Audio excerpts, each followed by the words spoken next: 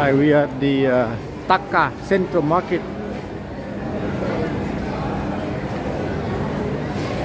in uh, Saigon, Ho Chi Minh City.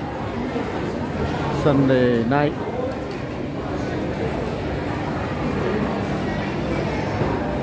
Up there is all the shops, and down here is all the foods.